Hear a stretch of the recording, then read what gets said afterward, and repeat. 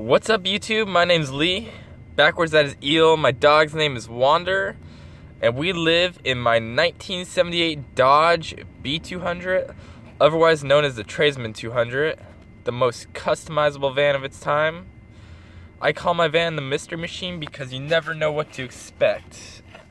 It's breakdowns, driving on dirt roads. I've hit a rock before. It's always something. But I made the decision to start living in my van about a year and a half ago. I was transitioning from living, you know, one place. I was moving out, started living in another place. I realized roommates suck, paying rent sucks. So, my boss at the time, he was uh, telling me about, you know, why don't you live in your van? Showing me his trailer, his RV on the side. If if he didn't have a wife and kids, he'd be living in that, you know. So I sat down, I made a, a pros and a cons list, you know, what what's good about living in a van, what's not. I ended up coming to the conclusion, you know, what do I have to lose if I if I don't like it? I'll go back to what, doing what I was doing before. You know, no no big deal. Try it. Might as well try it. Can't can't lose. So it's been a little over a year now of living in my van. It's been, you know, pretty basic. I haven't had a ton of money to fix it up the way I want to, but I'm loving it. Van life is freaking awesome. Sorry. It's exciting though. I it's total freedom. Uh, the ability to move at any time. Just go wherever. It's just freedom. No bills. No, well, there's bills, but no rent. It's the, the biggest bill of them all. Uh, you know, the ability to feel at home wherever you go, have everything you want with you.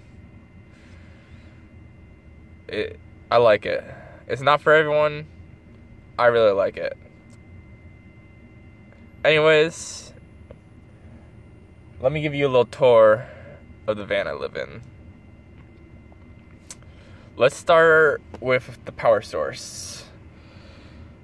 Um, I mean, the lights, like what you see above me, by the way, these are all just battery powered, so no worries there. They don't, I could have them on with no power source, just batteries.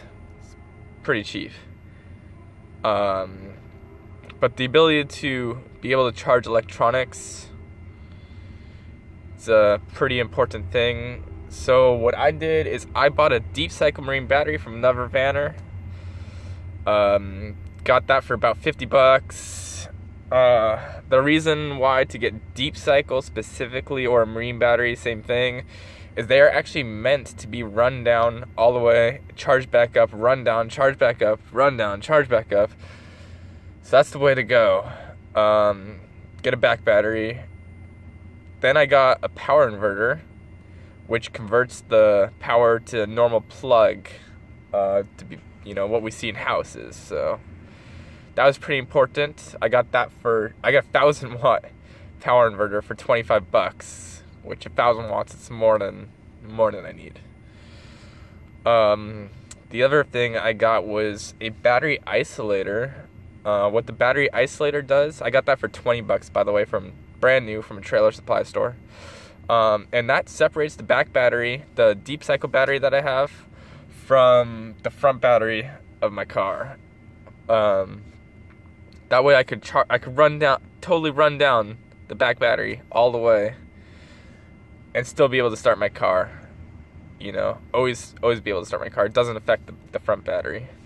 So that's majorly important. I would recommend that to be one of the first things for people to put in their van. Honestly, everyone can do whatever they want, but it's what I would recommend. Um, I mean, basically, I was looking at about 150 bucks after wires and everything for a power source. So that was pretty awesome. Um, let's see what else.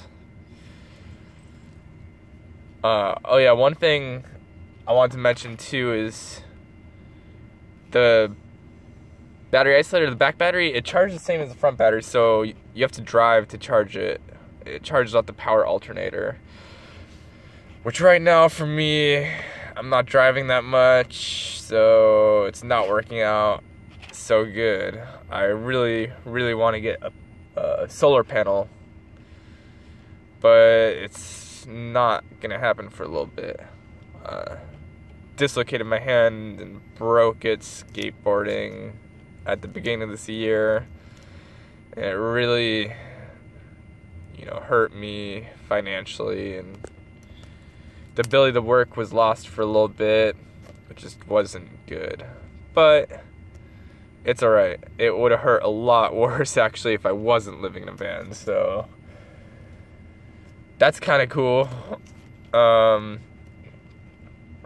a solar panel is definitely something something I will uh, get in the future. Uh, let's go under my bed. Basically, the battery, the power inverter, those are both under my bed. Also, I have subs, subwoofers, which, and an amp to power them. Just totally pointless, to be honest. I'm listing them on Craigslist very soon. I want to get rid of them. That space is valuable, especially now that I have a dog. I need to store more stuff, so probably gonna sell those subwoofers. Not even gonna miss them. Don't care. I just want them gone. I might even give them to someone for free. Um, also, under my bed, I have skateboards. I've got a storage of bungee cords, some towels, rags, extra sh- set of sheets for my bed, um, two plastic bins for clothes, which holds the warm weather or cold weather gear, rather, stuff that keeps you warm, sweatshirts, jackets, thermals, stuff like that. The other one has socks and underwear. Um, there's two more clothes bins I have sitting on the side. One's for shirts, one's for pants, and it also acts as a little table. Uh, actually, what what the what my phone, which is recording me right now, is sitting on right now, along with a few other things. Um, I have, you know, for for food storage, I've got a little cooler. Um, the front seat, something I think is really cool. The front seat of my my van spins around. Uh, both of them do it, but the driver's side one it gets stuck, and since it's so old, it's from 1978. The mechanism to move the seat forward and back doesn't work quite right, so right now that's out of commission, but the passenger side one does spin around, so it's pretty cool. Uh, another hack that I thought was really cool to add more storage space was I got the shoe, uh, the overhead shoe bin storage. I don't know who the hell has 24 pairs of shoes, but that's what this was for. I cut it apart and stuff. Now it holds like things like trash bags, plastic sandwich bags, some dog toys and stuff, uh, toothbrush, just various random stuff. I, I have them on the side doors and also in the back. The one in the back has more, mostly like random tools or tapes or like glues and stuff. I don't know. Stuff that I might need for my van at some point or another. Um, another thing I think is cool. I installed a animal sound maker. Got a speaker in the front. Basically, I can bark, moo, horse sounds, ice cream man sound, a whole bunch of array of stuff. It's got sirens. I don't fuck with those because, yeah, totally illegal. Not that you can go around the street making animal sounds, but yeah. Uh, I got the animal sound maker for ten dollars off eBay if I was worthwhile. Uh, I also have PA system, um, CB radio, which currently is out, out of commission right now. Uh, a lot of stuff it's a long story. But uh, I carry some art supplies in here.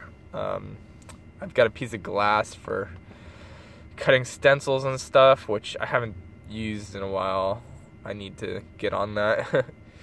um, what else? I mean, for showers, a lot of people ask me, "How do you shower?" I go to gym. Got a gym pass. Easy. It's nice. I like it. Twenty dollars a month. Can't go wrong. Um. Right now, I mean, my van's pretty basic, but there's a whole lot more that I want to do to it. Money is an issue. Um, the walls right now, by the way, they're covered in um, insulation, which you might have noticed. but uh, I've got a whole project to fix up these walls and then once they have wood over them and stuff, I'll be able to make shelving and a whole bunch more storage space. It's really a project I need to get on sooner than later, but I've been too busy enjoying life, exploring, doing fun stuff instead of work. I don't know. Uh, right now, I do have a job. I'm working in San Francisco. Um, I've been here for about almost three months now. Before this, I was in Orange County area working for skate skate company uh, down there. It's kind of Huntington Beach area, Costa Mesa, Newport Beach. Kind of lived all over all those cities, all over.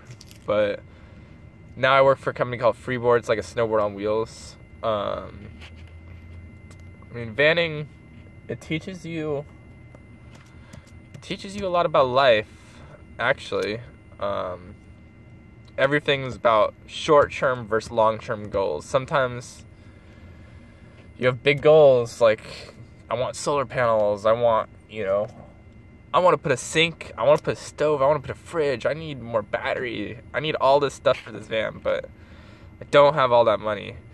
So, what's the most important? You got to have short term goals before you can get to your long term goals. Stuff that just it works for now. You know, it works for the meantime. Sometimes your short term goals even become they end up becoming your long term goals. There's nothing you can do about it.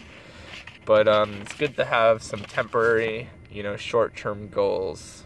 Is something that I really found out with vanning. Um, a bed, a battery source. Those are the basic like first things to do. Um,